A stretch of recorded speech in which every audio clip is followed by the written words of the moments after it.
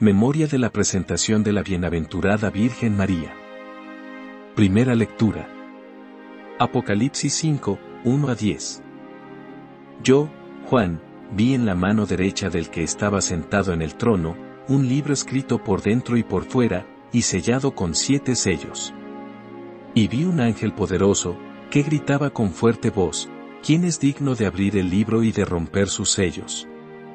Pero nadie, ni en el cielo ni en la tierra ni debajo de la tierra, podía abrir el libro ni ver su contenido.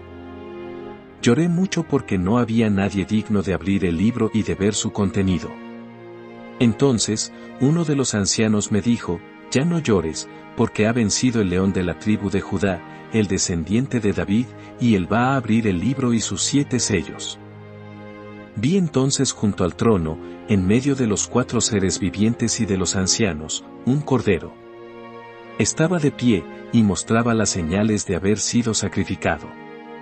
Tenía siete cuernos y siete ojos, que son los siete espíritus de Dios, enviados por toda la tierra. Se acercó y tomó el libro de la mano derecha del que estaba sentado en el trono. Y al tomarlo, los cuatro seres vivientes y los veinticuatro ancianos se postraron ante el Cordero, con sus cítaras y sus copas de oro llenas de incienso, que significan las oraciones de los santos. Y se pusieron a cantar un cántico nuevo, diciendo, Tú eres digno de tomar el libro y de abrir sus sellos, porque fuiste sacrificado, y con tu sangre compraste para Dios Hombres de todas las razas y lenguas. De todos los pueblos y naciones. Y con ellos has constituido un reino de sacerdotes. Que servirán a nuestro Dios y reinarán sobre la tierra. Palabra de Dios. Salmo responsorial. Salmo 149, 1 a 2.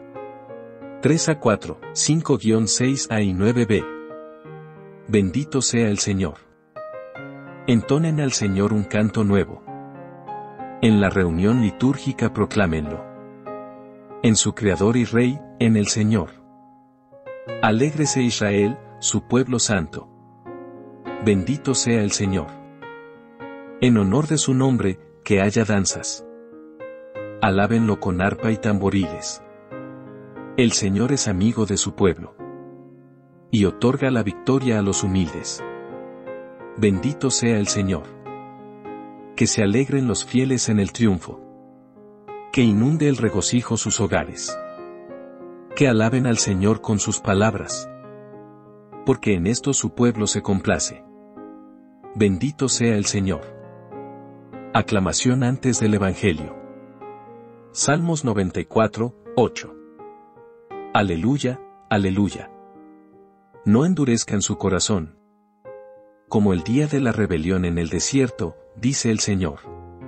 Aleluya. Evangelio. Lucas 19, 41 a 44. En aquel tiempo, cuando Jesús estuvo cerca de Jerusalén y contempló la ciudad, lloró por ella y exclamó. Si en este día comprendieras tú lo que puede conducirte a la paz.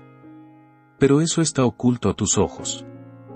Ya vendrán días en que tus enemigos te rodearán de trincheras, te sitiarán y te atacarán por todas partes y te arrasarán.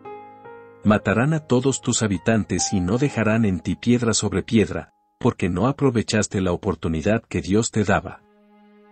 Palabra del Señor. Reflexión. Jesús pronunció estas palabras mientras contemplaba Jerusalén desde lejos, preparándose para entrar en esa ciudad santa por última vez, en preparación para su pasión y muerte. El Evangelio dice que, mientras pronunciaba estas palabras, Jesús lloró sobre la ciudad. Por supuesto, no eran lágrimas principalmente por la futura destrucción física del templo y la invasión de las fuerzas romanas. Eran, en primer lugar y sobre todo, lágrimas por la falta de fe de tantos, que era la verdadera destrucción por la que lloraba. Como se mencionó anteriormente, la ciudad de Jerusalén fue efectivamente sitiada por el comandante militar Tito en el año 70 después de Cristo. Tito estaba actuando bajo la autoridad de su padre, el emperador, y destruyó no solo el templo sino también gran parte de la ciudad misma, así como a los habitantes judíos. Cuando Jesús se acercaba a la ciudad de Jerusalén para entrar al templo una última vez y ofrecer su vida como el cordero sacrificial definitivo para la salvación del mundo, sabía que muchos dentro de esa ciudad santa no aceptarían su sacrificio salvador. Sabía que muchos dentro de esa ciudad se convertirían en los instrumentos de su muerte pendiente y no tendrían remordimiento por matar al Salvador del mundo. Y aunque este punto puede pasarse por alto fácilmente, debe enfatizarse que la reacción de Jesús no fue miedo, no fue ira, no fue disgusto. Más bien, su reacción fue santa tristeza. Lloró por la ciudad y sus habitantes a pesar de lo que muchos de ellos pronto le harían. Cuando sufres una injusticia, ¿cómo reaccionas? ¿Arrasas? ¿Condenas? ¿Te pones a la defensiva? ¿O imitas a nuestro Señor y permites que tu alma se llene de un santo dolor? El santo dolor es un acto de amor y es la respuesta cristiana apropiada a la persecución y la injusticia. Sin embargo, con demasiada frecuencia nuestra respuesta no es el santo dolor sino la ira. El problema con esto es que reaccionar con un enojo impío no logra nada bueno. No nos ayuda a imitar a Jesús y no ayuda a aquellos con quienes estamos enojados.